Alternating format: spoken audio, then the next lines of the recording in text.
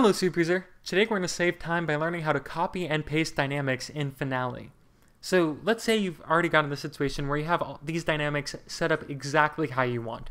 It's formatted correctly, the dynamics are in the correct position, and now you just want to copy and paste them to all the different staves. Well, luckily, there's a solution built into Finale that allows you to do this without having to copy the notes themselves and then rewriting everything. You just copy specific things like the dynamics. So First, what we want to do is we want to come up here to Edit, go down to Edit Filter. This is the filter that's going to let us decide what we're copying and pasting. So I'm going to check None. That way we can control exactly what we're going to do. And as a bonus, I'm going to show you how to do articulations, which is this there. That'll let us get the accent and the marcato there. So we want to check articulations, expressions, because that includes dynamics. And the last thing we want to do is we want to check smart shapes, because the hairpins are entered in as smart shapes.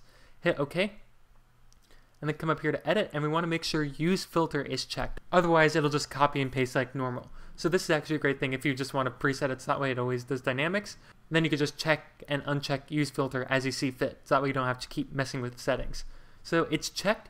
Now we're going to come over here, highlight it, copy, and then paste. And as you can see on every single staff we can paste the dynamics exactly how it was on the original. And so there we have it. And that's it for today. Make sure to like this video by hitting the thumbs up button. If you know someone who needs to watch this video, please share it with them. I release new videos about improving your finale workflow every Monday and Thursday, so if you don't want to miss any of them, make sure to subscribe and hit the bell icon so you can get notified immediately when they come out. In the meantime, make sure to check out our latest videos so you can improve your finale workflow right now.